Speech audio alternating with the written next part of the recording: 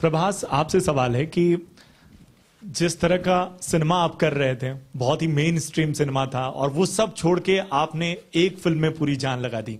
Script इतनी conviction के साथ राजमौली सर लेके आए थे, या आप करना चाहते थे राजमौली के साथ काम?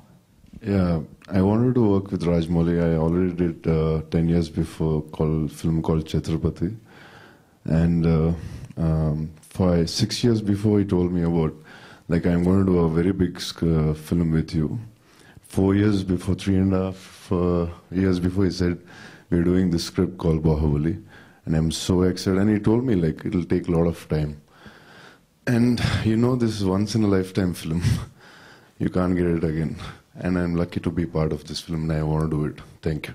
Prabhas, uh, Karan, one more question to Prabhas, please.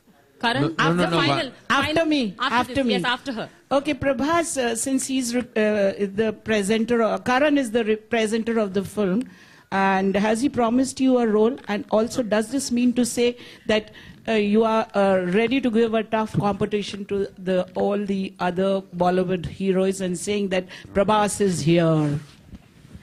Comment. No, no, I didn't think so much like uh, tough competition. Well, that's too much now. and uh, what was the other question you asked?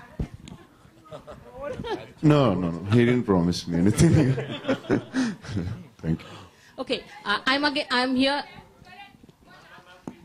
One question, one question to. Anyhow, he's holding the mic. One question ah. to Prabhas. Please, I, I'm Prema from TV5 again. Last Prabhas and Bhallala Deva and Baahubali. I just have one question to both of you. Three years you spent your time on Baahubali. And was it, was it really a pressure on your head? Did at any, any point of time you felt that, oh God, will, can we continue like this for some more years? And was it possible? Or somewhere you felt it was not possible?